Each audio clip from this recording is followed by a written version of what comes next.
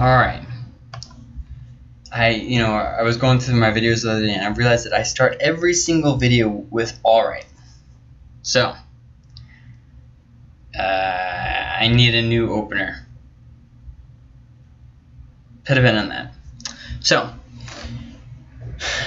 we talked about uh, Titus and, and First Timothy, which you know Paul is released out of prison at this point. We are we are we are after the book of Acts. You know, Acts ends with with Paul, not Peter. I'm sorry, Paul in captivity. Okay. He's released probably somewhere around like 63 maybe, and uh, you know he writes Titus and First Timothy, um, and then he goes off, you know, Spain and and maybe even England over there and stuff. Then he comes back and is rearrested. Okay, when he is rearrested is when Second Timothy is written. Okay, but First Peter is written probably right before the persecution in uh, under Emperor Nero starts. Um, if you guys re- remember that, I, I, kind of referenced that. So that starts in 64 and ends in I think like 68 or something when Emperor Nero kills himself. Um, and that's when P- First Peter is written right about the start of that, maybe right before. Uh, and so Second Timothy is written obviously uh, after that when Paul is arrested sometime around like 67, I guess. I don't know. Um, and then Second Peter is, is written sometime when whenever Peter is is killed. But Second Timothy and Second Peter we really can't date specifically. Yeah, so if that's the case, because it really just depends on when they died. Um, so as far as First Peter, this was written by Peter, obviously, which brings up the question: How could he have had such good Greek if you know he was you know a poor fisherman? Well, there's a few things. First off, it shouldn't be ignored that the Greek setting, you know, it doesn't seem totally improbable that people would have would know two languages. That doesn't seem totally improbable. Um, you know, uh, once again, it seems like the majority of people for instance, when Jesus is on the cross, he says something, and I think it's Aramaic, and um, a good majority of the people there are like, what? What's he saying? See, they didn't even know what he was saying. So, at least Jesus knew, at least in part, two or more languages. Um, although probably spoke, people were probably speaking. I mean, I would imagine Greek. Um, um, but I believe at this point Hebrew is is pretty much dead and gone, I, if I'm remembering correctly. I think it started to die out um, about the time of the exile, if I remember correctly, and then um, by this time, um, very few, if any, knew it. Greek was the was the main language, um, but it seems like a good majority of people also spoke Aramaic, especially in the Palestine area and, and around there. So okay, let's say Peter um, grew up and, and everybody spoke Aramaic, okay? Does that necessitate him not knowing Greek? No, not necessarily.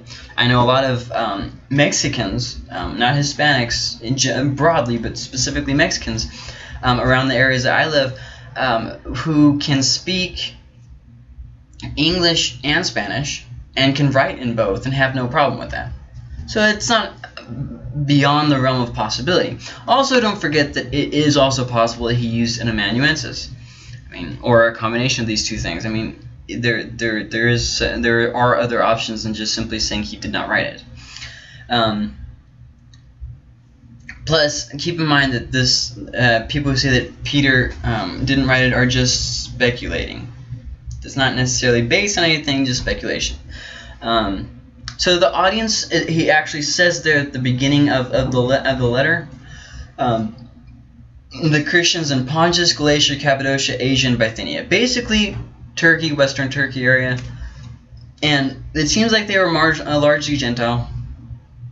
Okay.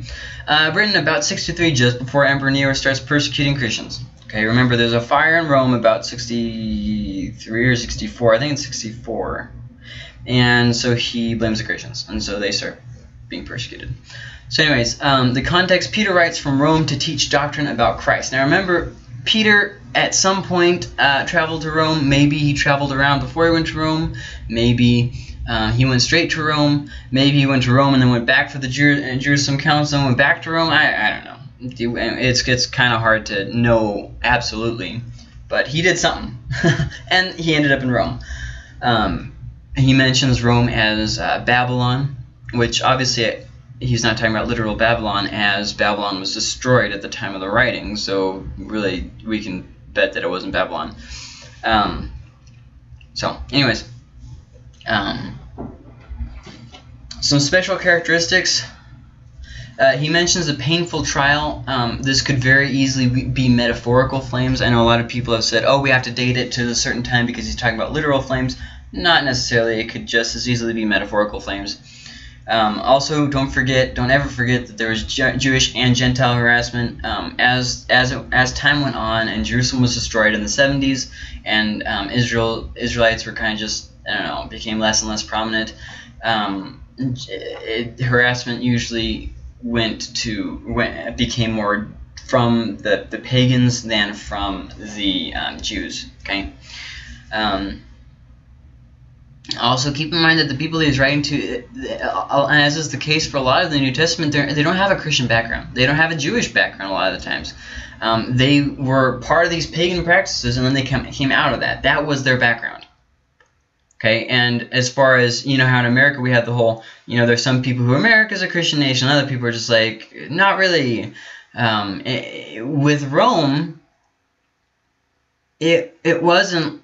It, the things that made you Roman, like the thing, you know, what makes you an American is, you know, this or that. What made you Roman was, you know, the imperial cult and that kind of stuff, and, and just the, the, the, the atmosphere and the different things that, that, that you did with that. Um, you know, and that was their background. It's not like they had a hit heritage of, of, of faith or anything. They were they were pagans, and they heard the message of Christ and they believed, and that's what they came out of. Um, the main theme of uh, First Peter seems to be perseverance despite persecution. Okay, um, uh, First Peter, I think, is oftentimes overlooked for the really valuable um, thing that it really is. Two five says, "You also, like living stones, are being built into a spiritual house to be a holy priesthood, offering spiritual sacrifices accepted to God through Jesus Christ." Um, so he's talking about ways to respond to um, the persecution. And the first thing he says is respond with community. You know, uh, respond with togetherness. A whole, uh, you know, a, a, a priesthood, uh, um, um, offering uh, offering spiritual sacrifices. Um, talking about them, you know, uh, being uh, built up. Um, the what does he say? The cornerstones and stuff being built up. Um, refers to them like a community, a household. Um, but obviously, don't take the take what he's saying here with the whole priesthood too far as the Mormons have. I mean, it's just unnatural to take it and apply it like that. It seems how really remember Jesus was the great high priest. And I don't really have time to get into that. 212 um, says, uh, Live such good lives among the pagans that though they accuse you of doing wrong, they may see your good deeds and glorify God in the day he visits us. Um, once again, another way to respond towards the persecution is with proper conduct. And 3.4, Rather, it should be that of your inner self, the unfading beauty of a gentle and quiet spirit, which is of great worth in God's sight. Once again, you know, this, this backs up what was said in 1 Timothy, if, if, if he's talking about wives in 1 Timothy. Um, wives shouldn't be contentious, basically, which is kind of the same thing we got from 1 Timothy. Um, so, you know, obviously Paul desired for women to learn to keep them from being, um, to learn to keep them from being um, uh, deceived, and they should be submitted to their husband because he was formed first. See, that makes that makes sense. But if he's talking about um, man and, and, and woman is in the sense of um, leadership in the church, first off, it doesn't really fit because he hasn't even started talking about leadership yet, so it really doesn't fit. But then also, it's kind of so you're saying that women shouldn't lead because a man was created first. Women shouldn't be in ministry because of that. That that just doesn't really make a whole lot of sense. I would have actually depended on more of examples to prove your point, not not so much the order of creation. I mean, eh, I mean, he could be saying that. It just doesn't seem like he is. And so I think all that I'm getting at here is it seems like a little bit of a stretch to say Paul is definitely talking about women, women shouldn't be in ministry. And it's too rushed of a conclusion. Maybe he's talking about that. But we shouldn't say so absolutely when the more, most natural reading seems like he's talking about man and wife, especially in light of the way that he switches terms from the the, the general term meaning more uh, women should be doing this to a woman. Now, obviously, yes, Paul has used the term a woman in other areas that, to, to do that. But given the context, it seems more natural that he's just switching from um, women generally to wives. Once again, though, let's uh, not push it too far there. Um,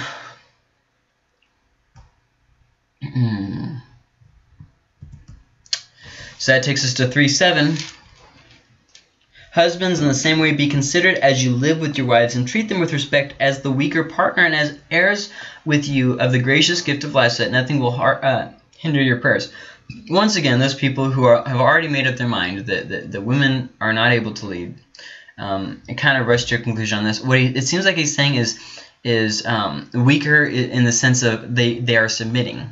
Remember, he just talked about that with the women. They are voluntarily submitting, right? So that weaker in that sense. Um, I don't have time to get into the the Greek and everything, but it seems like that's what he's talking about. It, it doesn't really follow that he's saying um, women are uh, less um, less able to deal with things. It just doesn't follow. I mean, it's possible that he is talking about that, but the most natural reading is he's not.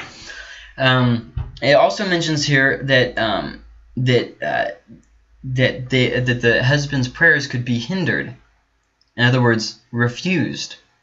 Okay, uh, by doing this. So once again, keep that in mind whenever you're for stuff like that. 319. After being made alive, he went and, pro made proclamation to them prison spirits. Now there have been a lot of different views. Whatever view you take, you cannot take the view that there was a second chance for those people who died and went to hell. Okay. Um, whatever view you take. Now, if Christ really did go to this, to some people say, I'll, I'll, start with the last one, Christ telling Old Testament saints. Basically, this view says that the Old Testament saints, um, they didn't go to hell, but they didn't go to heaven. They just went to this place that, you know, sometimes refer to as paradise, sometimes you just refer to this kind of almost like a purgatory. The problem with this is when Jesus is telling the parable, it kind of seems like he's talking about heaven. Uh, once again, possibly not, but... Eh um, also, um, when he talks about Abraham, the, the, the Lazarus being in the bosom of Abraham, uh, could he could be talking about this mystical paradise place, but without nowhere in Scripture does it clearly say that. You know, and and, and once again, Jesus says, "Today you will be with me in paradise." Uh, and then Paul talks about and Paul talks about the the the heaven and everything, uh, the paradise and all that. And then in Hebrews it says that you know it's appointed man once to die and then to and then the judgment.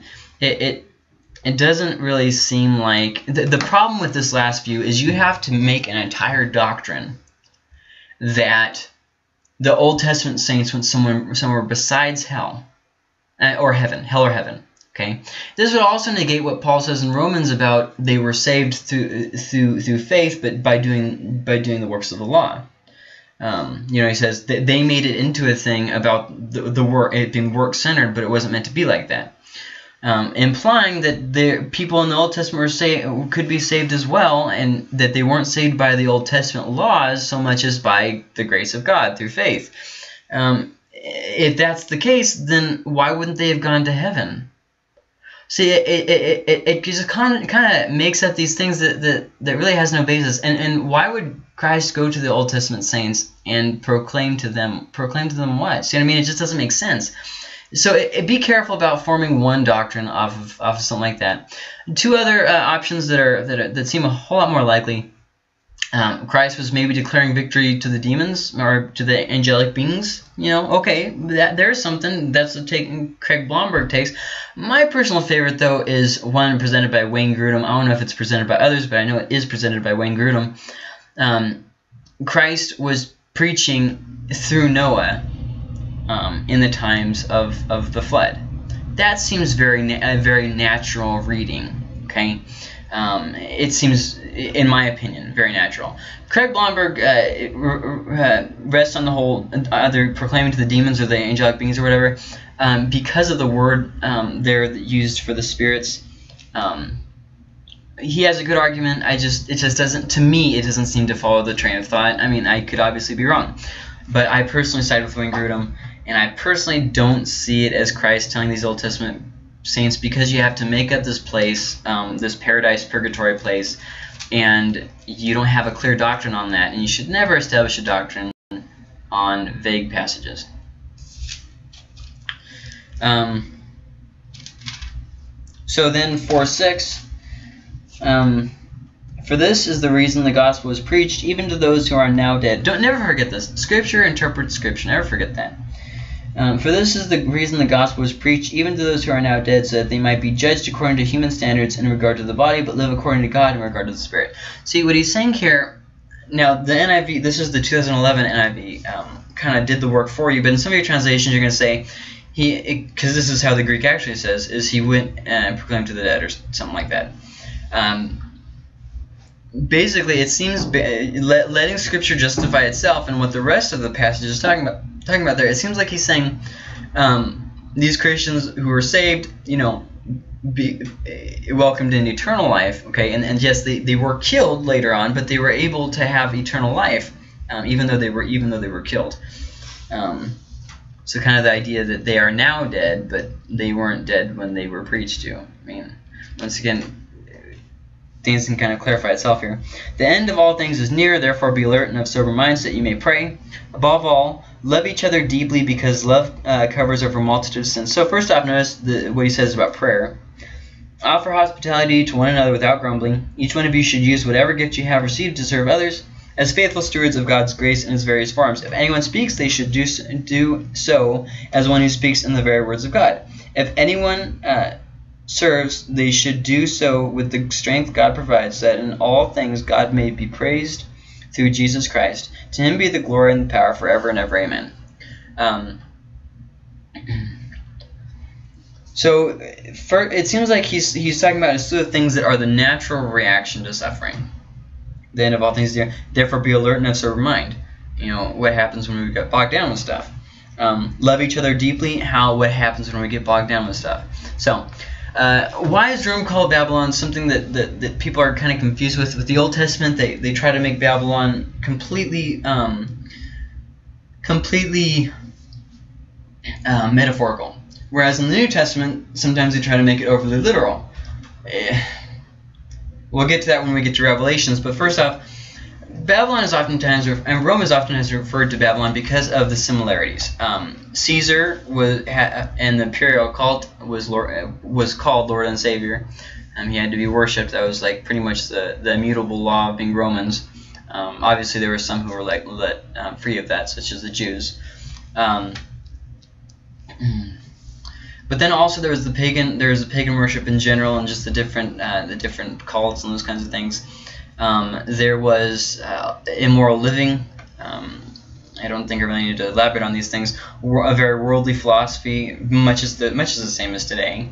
Um, violence, uh, hedonism, you know, lustful living, uh, just really um, a lack of discretion. And so uh, some of the Old New Testament writers refer to as Babylon. Um, because it has so much in common with Babylon, who, once again, Babylon becomes a symbol of evil. Um, so 2 Timothy Paul is is re re-arrested. Okay, probably around like 64 to 68, some, somewhere in there. Remember, we're not dating this specifically. Um, and yet, once again, written to Timothy. This seems like it was more written just for Timothy, not necessarily for the whole church of Ephesus. Um, it seems like it's more of Paul's last testament. Um, Paul, in his second Roman imprisonment, gives his last testament to Timothy the last thing they have to say, passing the torch. Here you go. You know, I'm, I'm. This is the end of my time. It's, it's, it's, it's, it's time for you to go and do these things. Um, some special characteristics. It is a personal letter to Timothy, um, and you just see in, in the midst of loneliness and adversity, you see faith and hope, which is what we should be handing down to those people who we're training faith and hope in the midst of loneliness and adversity. Don't forget that you parents too. Um, whenever you're in in the in bad circumstances, let your kids see faith and hope. Let them see you pray and read your read your Bible. Um, the main theme seems to be always be ready to pass it on, or always pass it on. Uh, the core of it is pass it on, but then always pass it on because he talks about it kind of being a process like that. But then he says, "Be ready in and out of season." You know, he, it seems like he's more talking about an extent, extended in taking in all the all the letter together. Always be ready to pass it on. So, um, regardless of whether you, you, you do or not, but do pass it on. Um, so difficult passages. I hope that you got what I was saying there. Second Timothy.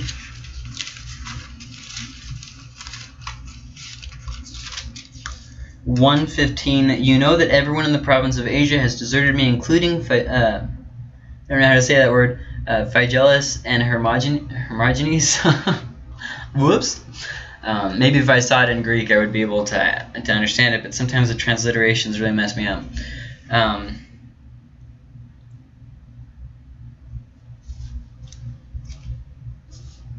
Um, he, it seems like he's not necessarily saying everyone in Asia, all of Western Turkey, but so much everyone from there who was there with him, all of them uh, had, had, abandoned him. That's what it seems like he's saying, not literally everyone in Asia. Um, but uh, keep in mind that, that, that, you know he had had an, had a hearing and it didn't go very well, um, at least by human standards, and things weren't looking very very well. Um, tradition places him at a very brutal prison um, and just a lot of a lot of bad things happening. Um, two two, and the things you have heard um, you say in the presence of many witnesses, and trust to the reliable people who will also be qualified to teach others. See, once again, that passing it on. Um, 215, do your best to present yourself to God as one approved, a worker who does not need to be ashamed and who correctly handles the word of truth. Talking about having a, having a good focus in the things that you do in your ministry. Um, 3 1. Uh, but mark this, there will be terrible times in the last days. Now, keep in mind that the last days started with Christ's ascension and it has been going on ever since. Okay, so I know a lot of times nowadays people get way wrapped up in the we are in the end times. Well, of course we're in the end times. We've been in the end times since Christ left. And nobody knows the hour nor, nor the day nor the, the moment that, that, that Jesus will come back. He will come back, though. Peter talks about this. Um, so, uh, 313, when you come, bring the cloak that I left with, with Carpus, Troas, and my scrolls, especially the parchments. Um, I'm sorry, I think I'm in 4, 3, yeah, there I am. 313, sorry. While evildoers and impostors will go from bad to worse, deceiving and being deceived. Um, it seems like things will continue to get worse uh, overall. There will be times of not being worse, but and the ministry. It seems like this is the the, the, the way ministry the end times is, is going to keep on going. Uh, people are going to have more effectiveness in ministry, but the world is going to keep on getting evil, and more evil and more evil. However, it should be noted there there will always be times of um, lapse of, of evil. Like for instance, in America, you know, persecution stopped. Um, whereas persecution had been going on for a while. America, not so much, especially in light of the other places in the world that are being persecuted. Um, you know, and obviously that could go away sometime in the future. You know, obviously, um, and like for instance, uh, well, I don't want to get into that, but um, and then it could happen. It could happen somewhere else. Iraq could become the new center of peace. I mean, you really just don't know. Um, but also, don't be fatalistic. Every time something bad happens, I hear I hear a Christian say, "It's just a sign of the times." Oh my goodness, I'm so tired of hearing that. Yes, of course, you know, the, the world aches, and of course there's there's the world is fallen and, and, and sinful and whatnot. But that doesn't mean you should just say it's just a sign of the times. What can you do? Pray for them. Reach out to these people who are suffering, like like the whole refugee crisis right now from Syria. Well, it's just a sign of the times. Of course it's a sign of the times. There will be trouble. Jesus said that. However, what can we do to fix this? You know what I mean? Jesus hasn't come back yet, which means he still wants us to be doing what he told us to do in the first place. Um, in 3.16 it says, All scripture is God-breathed and is useful for teaching, rebuking, correcting, and training in righteousness. These are things, remember that he's talking about the Old Testament. So, um, as far as 2 Peter,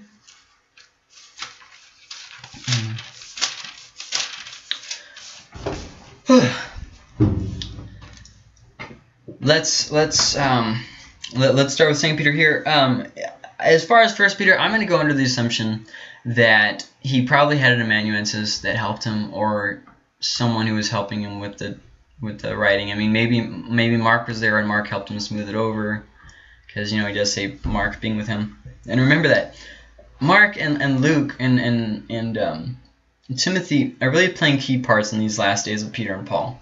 Um, you know, because remember, there's overlap of Peter and Paul both being in Rome, probably.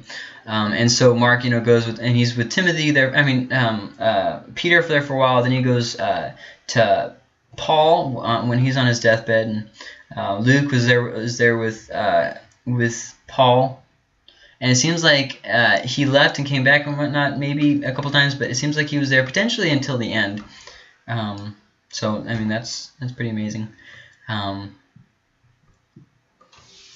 uh, St. Peter does not have very good Greek in it.